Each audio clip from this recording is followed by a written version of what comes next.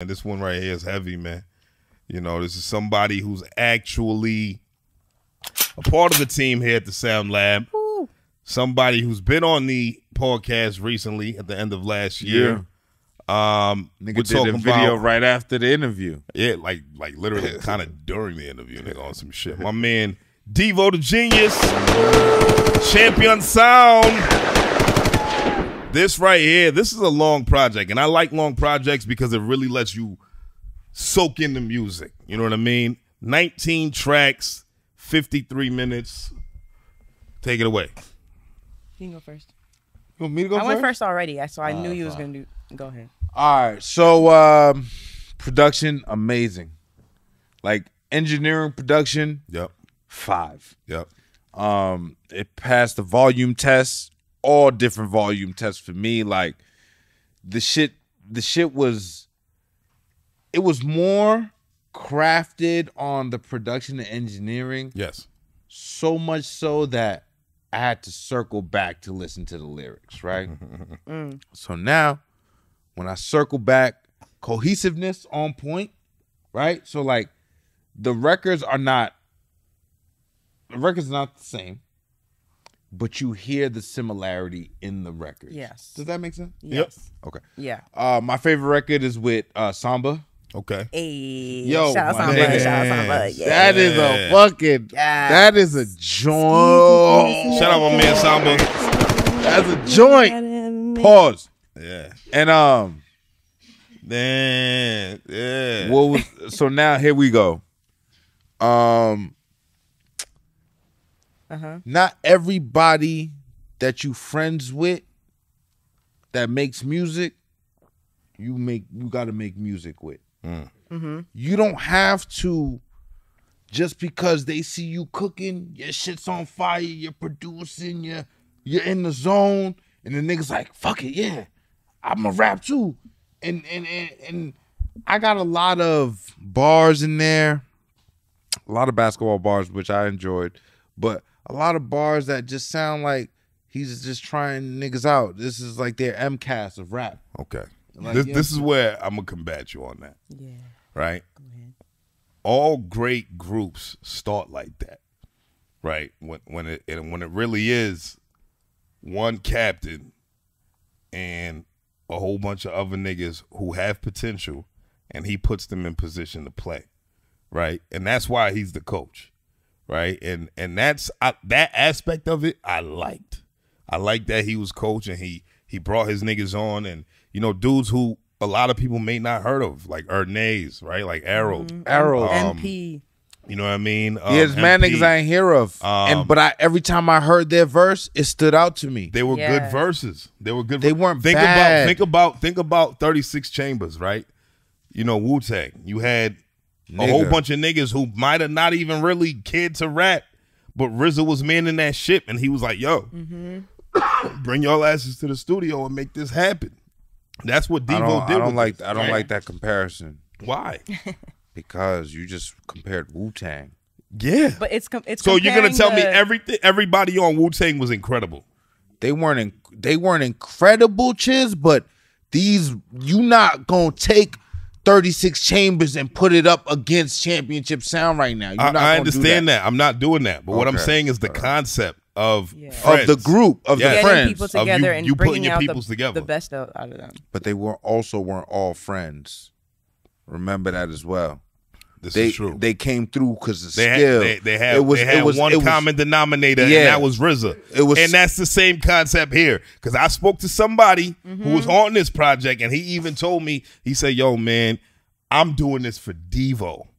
Okay, this ain't about them other niggas. I don't really, you know what I'm saying? Some of them niggas is nice, but it ain't about them. It's about Deevo. That's why I'm here.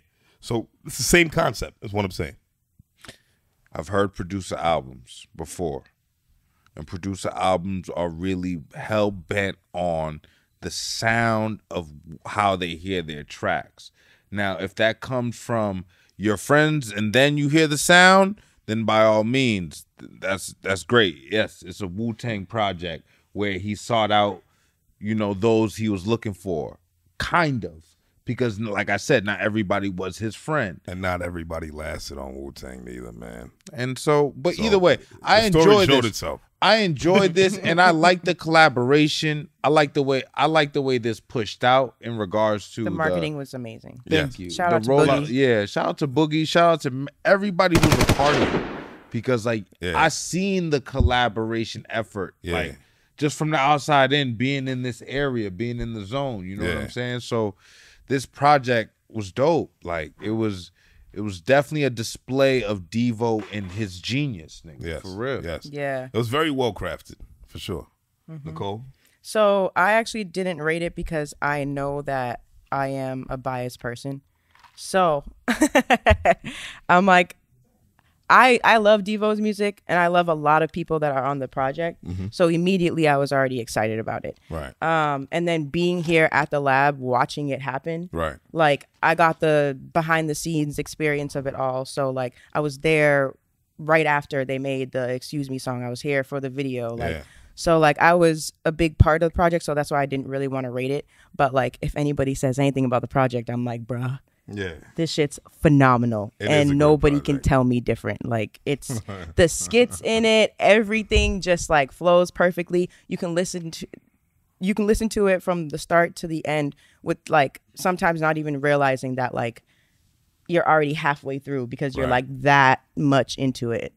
I I really like this project a lot. Um, all right. So my opinion is this, man. This was great. I love this. I love the concept. I love the salute to J Dilla, champion sound, Madlib, man. Um, the way it was done was done very fucking well. Yeah. So shout out to Deevo for orchestrating this whole concept and putting it together and bringing his guys together to do that. Right.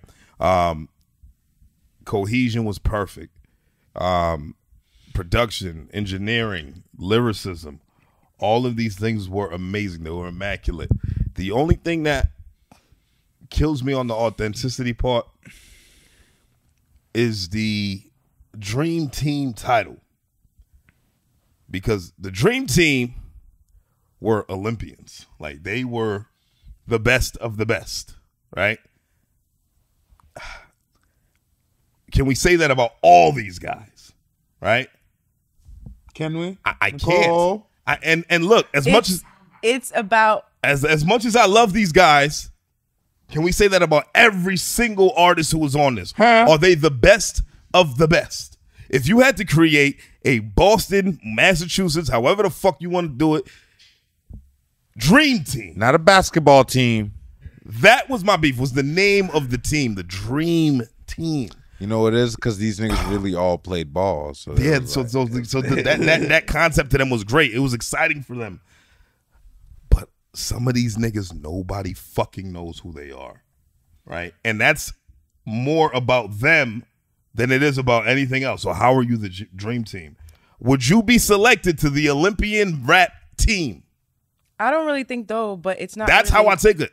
Well, That's yeah, how I took it. okay. Kids That's don't how even you- know you take it. basketball. That, that's 'Cause how it's I not really it. about- it's the Olympian team. It's- They had the- they but had it's the- not really about them saying, "Oh, like we are the best of the best out here." It was just. That's what the dream team was.